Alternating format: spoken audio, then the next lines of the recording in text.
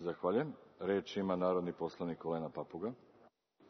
Hvala predsedavajući. E, svoje pitanje postavlja Ministarstvu energetike, odnosno ministru Antiću i premijeru Vučiću. E, troškovi osvetljenja Beograda za novu godinu za 90 dana će koštati oko 30 miliona dinara, uz dodatnih 120 e, miliona opredeljenih iz rebalansa, kako je naglasio gradonačelnik Mali.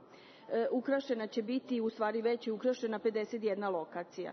E, Novi Sad će takođe potrošiti 30 miliona dinara za kupovinu e, osvetljenja za novu godinu.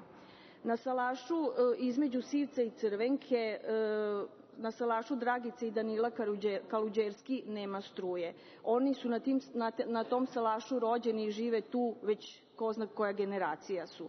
Salaš nije zabačen e, jer je, se nalazi svega 40 metara od regionalnog puta Kula-Sombor, a na 200 metara im je prva bandera, odnosno e, najbliži električni stup e, koji je stvarno malo udaljen i može da im se uvede struja. Na 2-3 km nalazi se fabrika Jafa u Crvenki i Šećerana. U delu gde je njihov salaš, znači to je salaš broj 1, njihov salaš nije usamljen jer se oko njega nalaze e, i vikendice i još mnogo salaša do tog regionalnog puta, e, tako da su e, stanari tih salaša i vikendica pisali peticiju, njih 86 su potpisali uredno peticiju i poslali su još pre nekoliko godina tada elektrodistribuciji, sada elektromreži i opštini Kula.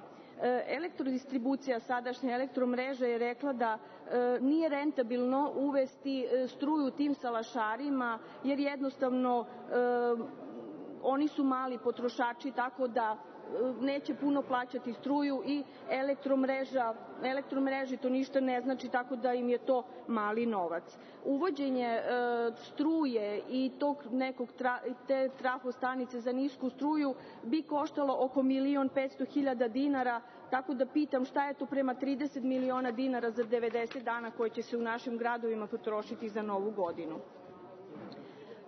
Znači država samo zna da naplati troškove, a kada treba da u 21. veku obezbedi ljudima struju, to gleda samo kroz novac. Ne znam da li su ti ljudi to zaslužili. Pita ministra privrede, da li će da pomogne tim ljudima da im elektromreže Srbije uvedu struju? Da li u budžetu za 2017. godinu ima sredstava da se tim ljudima e, omogući normalan život na salašima? E, da li će hoteli na e, Kopaoniku ostati bez struje, da li tamo e, elektromreža da, da li će uvesti tamo struju ili će ih ostaviti bez struje jer su možda mali potrošači.